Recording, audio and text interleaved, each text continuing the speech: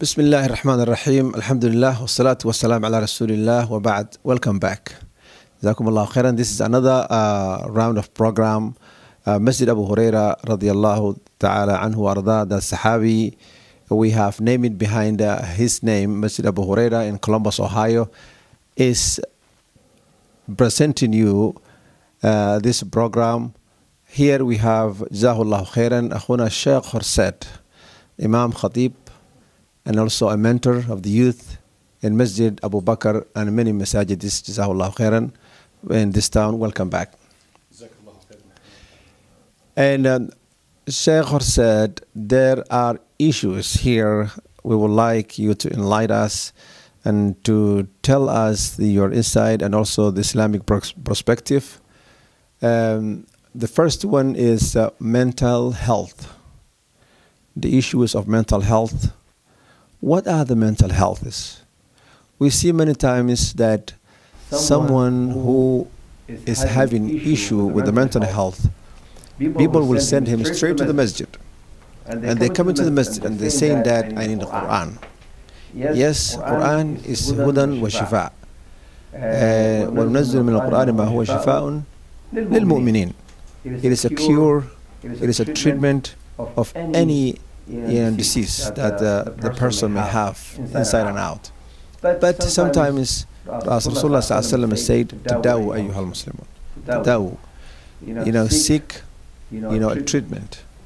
So, what is the mental health? Is the the person who is uh, having issue or uh, you know ill with this mental health issue has to come all the time to the masjid and ask, uh, you know, Quran to be read on him, or there are other sources that you are sending to him. There are sources that you are advising to him, other medication, other treatment that you are sending to him. That's my first question, and I will come into inshallah ta'ala the second question, which is very important that I have. Welcome. جزاك الله خير. جزاك الله خيرا دكتور محمد الحمد لله والصلاة والسلام على سيدنا محمد وبعد. Uh, I think first of all in the Somali context you can talk about mental illness without definitely taking into consideration the social stigma which you just alluded to. Uh, Sheikh Muhammad, mental illness is just like a physical illness. People go to the doctor when they are physically unwell.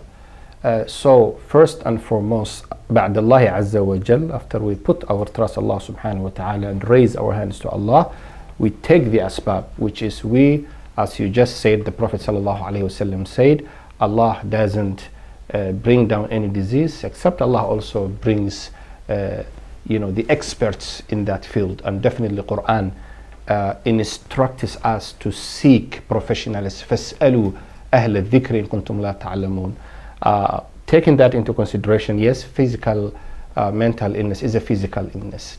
Um, if I am unwell physically, I go to the hospital. I don't go to the masjid. So there is a myth here that needs to be dispelled, that needs to be exposed. And people get uh, emotional when you say, don't go to the masjid. We work at a masjid, me and Dr. Muhammad, and we know, alhamdulillah, the blessing of being at a masjid. We also know, as Sheikh Muhammad said, that Quran is a healing. Um, Allah subhanahu wa ta'ala says, وَشِفَاءٌ لِمَا فِي الصُّدُورِ It heals the diseases of the heart.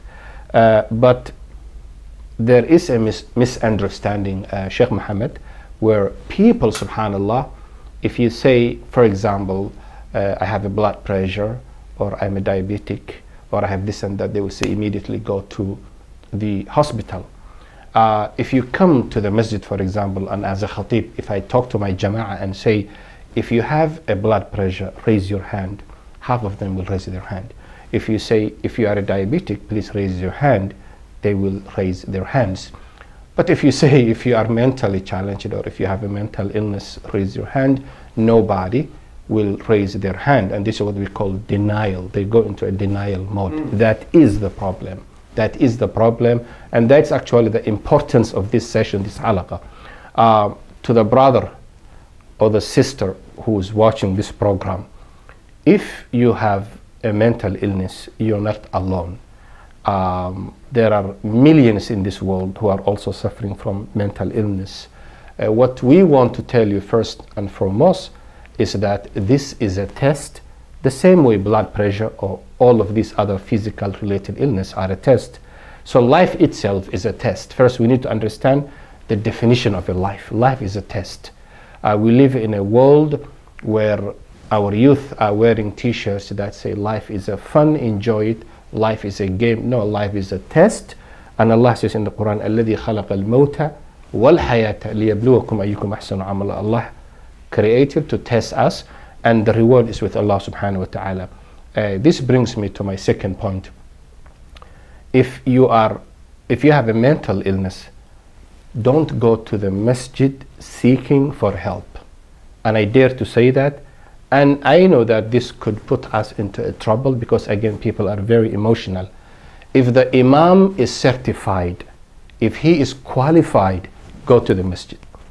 But if he's not qualified, if he's not certified, if the Imam or the Sheikh don't have any basic understanding of the science of mental illness, the classification of mental illness, the definition of mental illness, please go to the doctor. That doesn't mean don't ask Allah subhanahu wa ta'ala to help you. First, we direct you to ask Allah subhanahu wa ta'ala to help you. We also ask you to always read Quran on you and have people to read Quran on you. Quran is always a blessing. But the point here, what we are trying to say, is seek a professional medical help. That's number one. Number two, uh, for the imams or the faith leaders of the sheikhs, our message to you is when a young sister comes to you and says to you, I have a depression. If you say to her, your iman is weak, you already made her more depressed. Yeah. You didn't help her. You almost destroyed her. So this is a message to our fellow imams and shuyukhs. Uh, when a mother comes to you and says to you that I have a depression or I have a mental illness, and if you say to her, A'udhu billahi minash shaitan rajim, uh, your iman is da'if, you don't read Quran, you're not close to Allah, you destroyed her. The best thing to do is what um, the Prophet ﷺ uh, told us to do, which is to direct people to people who help her, which is what Islam instructs us, which is to seek for a professional help. So that is the definition of a mental illness. It's just like a physical illness and to answer your second question, when people have a mental illness, uh, they should go to a medical profession uh, the same way they go to the hospital when they have a physical illness, unless and until the imam is qualified for that or certified for that. I know Brother Muhammad has a background of mental illness. My degree is biochemistry and microbiology. We happen to be people who read these things, but some of our imams and shuyukhs, unfortunately, are not trained in this, so they might make the situation much worse than it was before. In related to that, uh, there was a brother who was uh, having issues with uh, um, a mental uh, problem he used to come to the masjid, and he was coming to masjid, and he was saying that you know uh, he's not well. Uh, his think his thoughts are very dangerous, and sometimes he's saying that I'm not a Muslim. Uh, he says that I can't even open the Quran. I cannot read it, and uh, he has like a very, you know, keep coming back thoughts. So, what do, we ask him, what do you need? He says, I need the Quran. And I know at the moment that he talked to us, he don't need the Quran, but he needs to see a medical uh, professional. So, you know, we tried him, you know, a couple of days to read on him the Quran. And then the other day we said, hey, how you feel now? He said, Allah, same thing, I have to sell my houses. I have to do this. I have to do that. I told him, now listen, go to the doctor and ask him to maybe uh, just uh, do some assessment on you. I was suspecting that he has something called OCD, obsessive compulsive disorder. So go ahead and just see. Well, alhamdulillah, he took my advice. He went to the uh, doctor. He sit down with them, and then that's what they diagnosed him. exactly. They gave him the medicine. And then he came back in a week. He said, Wallahi, you know, Alhamdulillah, he was feeling great. I mean, we take big, big, big part of his health. he changed. He completely calmed down. All the dangerous thoughts was, you know, disappeared. So that is what sometimes is happening. Many divorces are happening because of this OCD thing. Many uh, mothers and you know the fathers are ailing on this. So one of my colleagues, he told me that he's a, a medical professional. He told me that, hey, listen, you know, many uh, lawyers, you know, uh, law professionals, they take this medicine. They have the disease. Many doctors do the same thing. Many judges do the same thing. They have this problem. But no one just takes, no one swallows and just, you know, uh, goes into his room or his isolated place and this and that. So, you know, that's sometimes what's happening. And Alhamdulillah, and uh, many brothers, when we give them the advice, they took the advice. But the sisters are sometimes very hard-headed, maybe, Allahu Alam. Some may not take, some they think that they need a, a Quran, and then they go to other masjid, they go to other masjid, they go to other masjid which takes you know a longer time. So our question here, inshallah ta'ala, my question here is something called social stigma. The person may be having issues of mental health, maybe having issues of drug or substance abuse. He don't have help, and someone he don't have anybody comes close to him and helping him. So and you know it's kind of like taboo he don't want to talk about this and he don't want to say anything about this he don't want to seek because some mothers or fathers may if they go to the doctor and if they diagnosed it with a mental issue or mental health mental problem you know the, they think that their kids will be taken away. Okay? They will be recorded into the system. And they don't want you know share with it. So, what is your advice for that? And how this social stigma can affect socially and in perspective of religious religion. Jazakallah khair. Allahu Dr. Muhammad. Uh, you have raised really amazing points, and inshallah ta'ala, let's reflect on them. Before we answer those questions, again, uh, for those of your brothers and sisters, mothers and fathers, if you think you are mentally challenged or you have a mental illness, please keep in mind you're not alone. Uh, come to us, uh, especially contact Sheikh Muhammad. Um, we are there for you. Islam commands us to lend a helping hand, a brotherly, sisterly, loving hand to all of you. Uh, brother Muhammad, you're really raising an important uh, question. That brother who said, All I need is Quran, uh, first of all, uh, sociology teaches us that the environment in which you live dictates how you lead your life. Everyone around him told him, if you have mental illness, all you need is Quran or go to the masjid. So we can't blame him.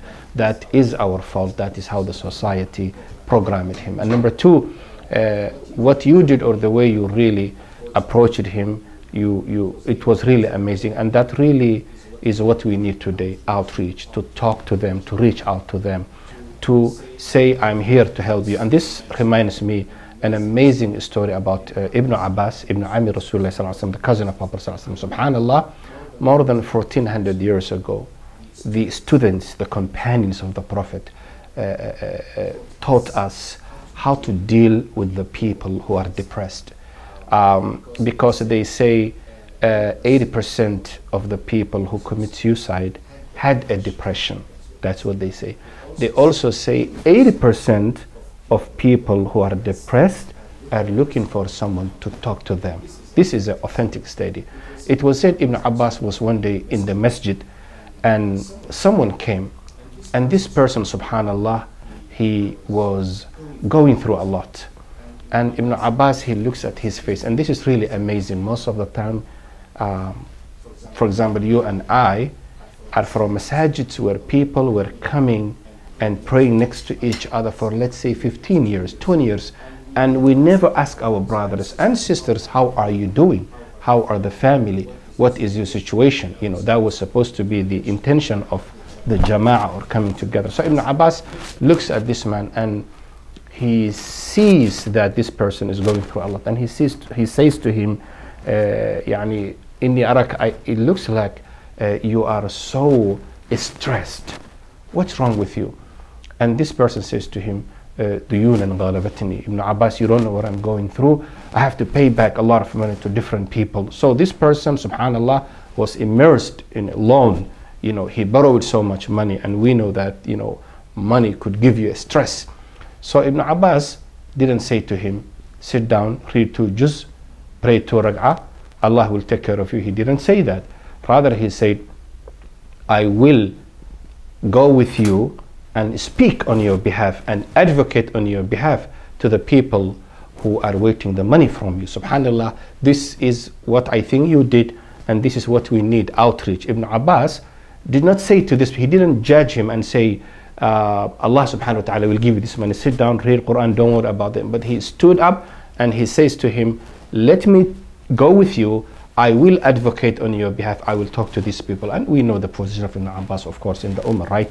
it is said in that narration that someone says to him, and Ibn Abbas, uh, you are mu'takif, and you're doing i'tikaf, did you forget? How can you go? And he says to him, uh, and he says to him, keep in uh, and he says to him, uskut, uh, keep quiet. For أني I've heard the Prophet ﷺ saying, and for you to go out and take care of the hajj of your brother, right? Sister, better than that you do i'tikaf at the masjid of the Prophet. I mean, look at that. This was the understanding of the Sahaba. So Ibn Abbas stood up and then, subhanAllah, approached the person, took him out, held him first, calmed him psychologically. Then he taught him this dua. Allahumma inni a'udhu bika min al-hammi wal-huzni wa a'udhu bika. Yani you all know the famous dua. So this really teaches us an interesting uh, uh, uh, lesson. Number one, uh, we don't judge the people. This was the understanding of the Sahaba. Ibn Abbas could have said, read Quran, uh, or brother, I'm doing i'tikaf, I can't go anywhere. But subhanAllah, his understanding of Islam was so deep. He approached him, did an outreach for him, advocated on his behalf, then taught him the dua. And it's an amazing story. So the social stigma is what destroys our people. Uh, the second thing I want to mention is that uh, we need to tell the people, we need to tell the people that this is like a physical illness. You don't have to uh, feel taboo about it. You don't have to hide it. Come out and talk to the people. Unfortunately, our society judge the people. We call people names and we drive the people away from the society and away from the masjid. And this is not the tradition of the Prophet sallallahu alaihi wasallam. MashaAllah. Jazakallah khairan. My colleague, my, colleague, my friend, my friend uh, uh, our brother, brother Sheikh Hussein, may Allah reward him for coming today and uh, taking a part and also just giving us uh, so many insight, so many perspectives in terms of religion, in terms of uh, the, uh, his professionality. May Allah reward him for that.